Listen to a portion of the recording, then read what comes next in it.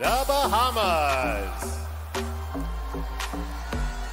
This costume pays homage to a 19th century doll, a souvenir from the Bahamas' world famous international straw market. Woven in burlap and straw accents, its gems and stones feature the patriotic, patriotic colors of gold, black, and aquamarine. It's easy to fall for this jeweled doll in the Bahamas.